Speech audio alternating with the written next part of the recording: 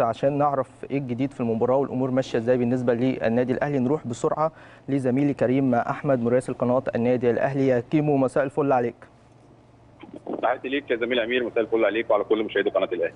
طمنا كريم على فريق النادي الاهلي والمباراة الودية النهارده أمام فريق نجوم المستقبل وقول لنا التشكيل اللي بدأ بمستر باتريس كارتيرون المباراه كان إيه؟ في البداية أعتقد إن هي تكون مباراة جيدة يكون فيها استفادات فنية كبيرة جدا للنادي الأهلي وأيضا كمان لفريق نجوم المستقبل. الاثنين هيواجهوا بعض طبعا في بطولة الدوري العام. زي ما أنت عارف النهارده تكون تجربة أخيرة إن شاء الله. نتمنى تكون فيها استفادة كبيرة جدا لمستر باتريس كارتيرون والجهاز الفني ولاعبي النادي الأهلي.